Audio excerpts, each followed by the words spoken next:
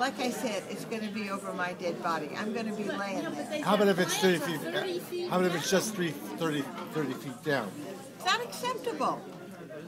Because It's not acceptable. I don't want it 30 feet under your house. I don't want it 30 feet under anything. The vibration. imagine. All right, let's start with. Not to mention that we just had an earthquake Forget in Beverly Hills. The, yeah, but you don't even know what the impacts will be. You don't know about the rattling of the trains as they speed up or slow down going into Century City. You don't know what the noise impacts will be. We only know that there's an earthquake problem. We know what's obvious, but we haven't even touched upon the stuff that they haven't thought about yet.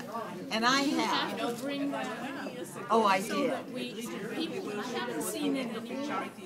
Oh, well, you weren't at the Metro meetings.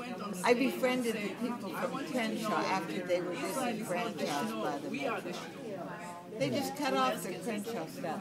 Who needs it more